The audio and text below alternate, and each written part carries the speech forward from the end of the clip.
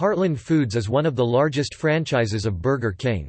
The Downers Grove, Illinois-based company owns and operates over 225 restaurants in six U.S. states.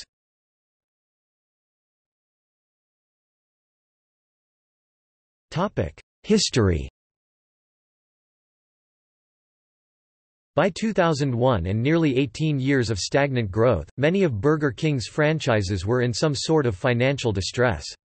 The lack of growth severely impacted BKC's largest franchise, the nearly 400-store Ameriking. By 2001 the company, which until this point had been struggling under a nearly $300 million debt load and been shedding store across the U.S., was forced to enter Chapter 11 bankruptcy, while several individual BK franchisees also took advantage of the Ameriking failure and the resulting sale of its assets. Miami-based franchisee Al Cabrera and co-founder Joseph DeGrosa purchased the largest chunk of stores stores, 130 locations primarily in Chicago and the upper Midwest, from the failed company for a bargain basement price of $16 million, or approximately 88% of their original value.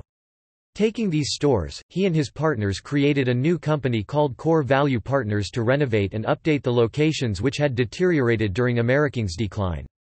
During this time, the company was renamed Heartland Foods and it purchased 120 additional stores from other financially distressed owners and completely revamped them as well. The resulting purchases made Mr. Cabrera Burger King's largest minority franchisee and Heartland one of BKC's top franchisee groups.